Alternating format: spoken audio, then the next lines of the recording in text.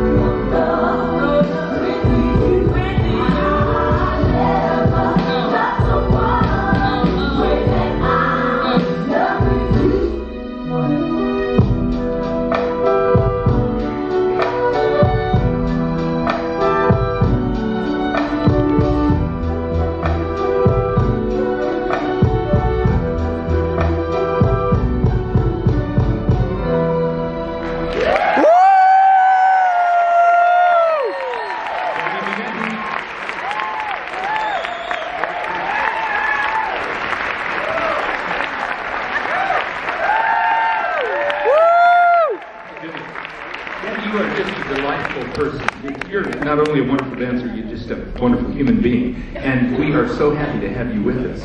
Isn't that great?